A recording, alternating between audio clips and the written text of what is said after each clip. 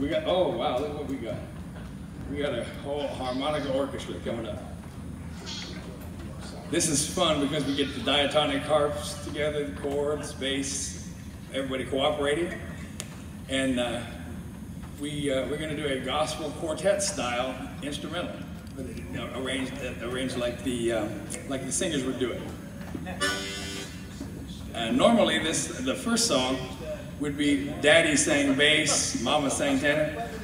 But today we have daughter played bass, Daddy plays tenor. Yeah.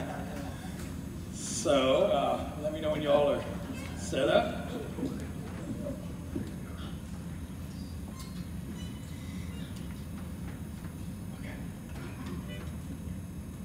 Maestro, you got the track ready for us? Please, sir.